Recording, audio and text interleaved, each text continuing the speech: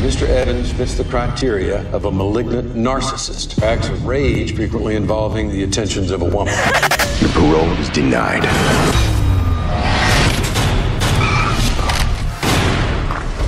Big Girl. I don't mean to bother you. I just lost control of my car.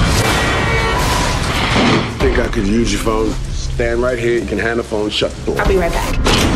Guess somebody needs to use the phone. Let's do it. Let's go. Search the sky. Put her down! Please. Please what? You don't have to do this. I would have thought of all those brains you got. You would have figured out the game we're playing by now. Stay right here, and I won't let anything happen to you.